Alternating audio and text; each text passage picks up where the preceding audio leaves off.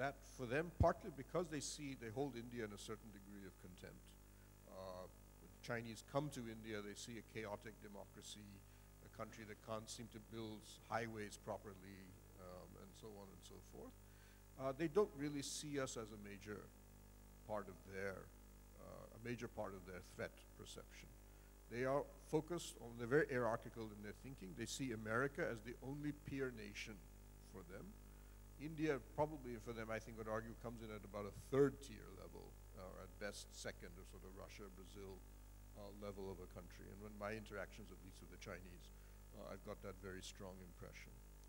Uh, the difference that we're starting to see is that one, India plays, I would argue, has been trying to play uh, as much of its diplomatic cards as it possibly can, largely by trying to bring other countries into a similar fold who has a share in increasing concern about China.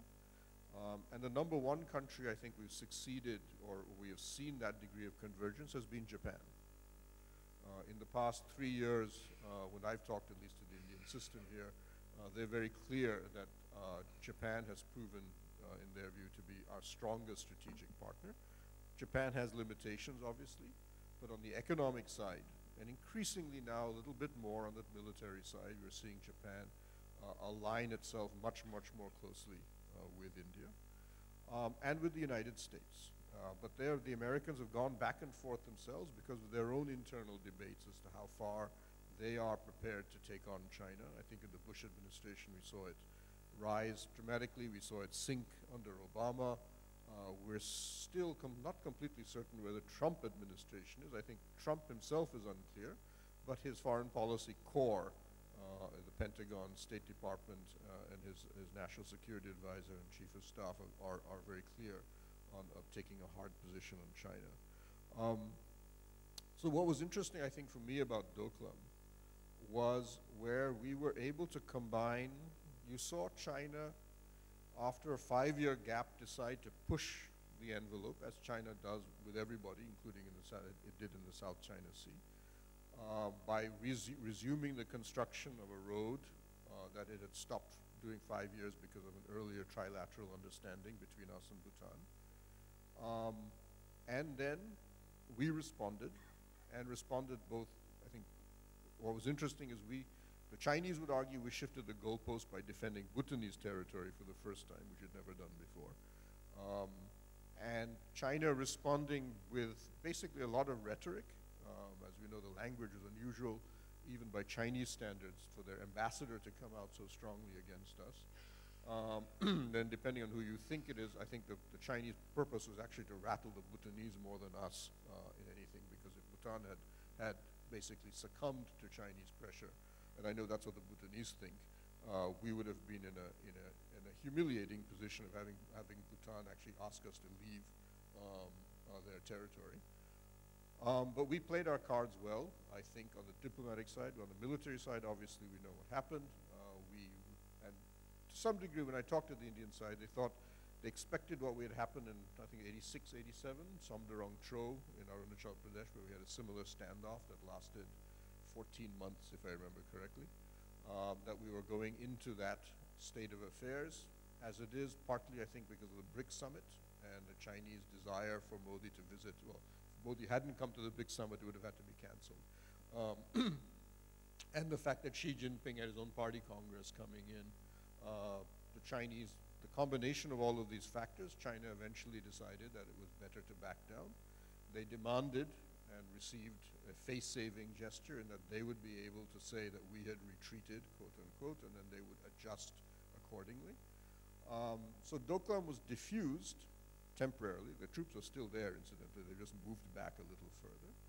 Uh, the question for us now is having done that, and, I, and I, it's very clear, I mean, I know that Prime Minister Modi personally has told people that he sees this Doklam as a model uh, for other countries in standing up to China. Because one of the reasons why China's been doing this is that over the past 10 years, nobody stood up to them. The South China Sea, Senkaku Islands, Mongolia, you see almost everywhere they have pushed hard and most countries have fallen back. Um, and when America decided not to defend the South China Sea under Obama, uh, that was the really big signal for the Chinese that they could really start pushing forward uh, on their, I would say territorial agenda, but the agenda that in Asia that they should be recognized as the dominant power. Um, the, and it was interesting when the Pentagon chief, James Mattis, came to India recently, one of the first things he asked for was a detailed briefing from the Indian side about exactly how we had handled the Chinese in the Doklam crisis. How did, how did it go step by step? How did China respond? What did you do? And so on, because for the Americans and for many other countries, uh, Doklam was interesting because, of what I've said, it was one of the first times it responded. Uh, the question now for us will be, where does the Indo-China relationship go from here? Um, there's one school, um, I think largely centered perhaps in our intelligence uh, uh, agencies, which argues that we, will we should expect a fairly strong Chinese response, another test of India sometime next year, uh, because we've squabbled with them over the Dalai Lama. We have now become the most vocal opponent of the Belt Road Initiative, uh, and we're actually succeeding there. You've now seen, I know privately, Germany has come in and supported us now. Japan is openly opposed, and now with Mr. Tillerson's visit, we saw America, which had been sitting on the fence until now, come out and say, yes, Belt Road is not a benign economic policy, it's, it is a dangerous, it is a dangerous uh, geopolitical game by the Chinese. Um, and then finally, we had the humiliation for the Chinese part uh, on Doklam. And people who've gone to China recently say there is a fair amount of genuine public anger in China over this incident which indicates to me that Beijing has not decided to hide what happened in Doklam to its own people, which would tend to again signal that there will be some sort of Chinese response. The Chinese response may not be military. It could be a cyber attack. It could be some sort of diplomatic uh, push against us. And it's something that we will, will have to prepare. Another school argues that no, Chinese still basically don't take us all that seriously. And they will focus on, they'll have North Korea, they'll still have South China Sea, they'll have the unpredictability of a Trump administration coming in. So we shouldn't really expect anything. We probably won't have to worry too much about Xi Jinping uh, immediately, uh, but that doesn't mean you shouldn't keep your, your, your powder dry. But the Chinese, and I think it's interesting to note, they recognize that with Modi at least, this is a slightly different Indian government. And there was an editorial by the Global Times, which is a sort of nationalist uh, arm of the People's People's Daily, which said that we must recognize that under the Modi government, I paraphrase, uh, that this is an India that will not be concerned, uh, or India will, this is an India that will not be concerned about involving itself in global problems and trying to extract what it can for its own national interest. And there was another op-ed piece which said, this is a government in India that will not be bothered about getting other countries unhappy about its policies. To some degree, that's a sign of respect from the Chinese because that's exactly how they function. But they also recognize this will be a slightly different India, and the question is, do they feel the need to actually bring India down a peg at some point later? And that's something we're going to have to see. Wonderfully um, elaborated. Thank you very much. So, I agree with you that Xi also in one of his speeches the major speech which he gave, has said that we will not forget, uh, the world should not expect us to forget the, uh, to, uh, to swallow those, uh, those uh, points which have hurt our interests, something like that he has publicly said.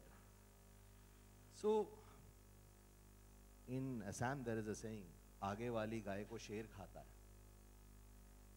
Prime Minister Modi wisely is trying to create a chorus of snarls, as you said very well. And I think US is also coming to us, as you said, to learn how we countered uh, uh, China.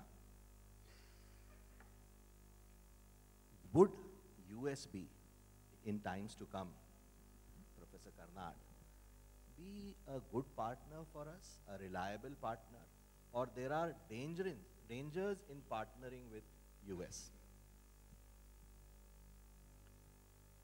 Just on the Doklam thing, I think let me just put in a, a slightly different uh, stance on it. Uh, we shouldn't overstate the Doklam success, such as it was. Uh, was a one-off in the sense that we had local superiority of forces. The terrain was very, very favorable to us. We held the high points and so on. So it would be best not to generalize from this one-off incident that in some way we got the better of China and that this should be therefore the prototype of actions in the future. That said, I think Chinese, China is not really a nine-foot monster, anything of the kind. It has all kinds of problems. Um, and therefore, in some sense, most of our diplomacy vis-a-vis China has at the core a certain awe of China. And this I've always said that, uh, you know, you have our diplomats who are Sinophiles, who speak Mandarin and so on. And this is true of most people who speak the Mandarin language and learn it, they become Sinophiles. Rather than objective about their own interests, national interests. It's all very well to speak Mandarin fluently, but, and it does help your cause, but not when you come back to Delhi um, on station and then begin advising uh, not to disturb the Chinese view of the world and this, that, and the other. This is what happens, not just with our diplomats, but also with our intelligence agents and so on that I have known uh, over the years. And I found, to my great consternation, that they invariably end up plugging in one way or the other the Chinese line, which is what I am wary of. Having said that,